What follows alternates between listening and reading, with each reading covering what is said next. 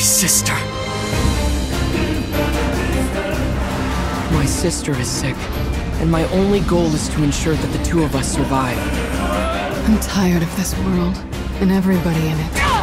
I won't just sit around and let you fight while I stay behind! Don't get too excited. This is just some old legend. With your power, we can cure Yonah! These swords of mine need a true home but you'll do for now.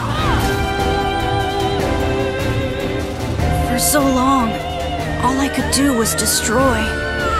But now, I have a chance to save something.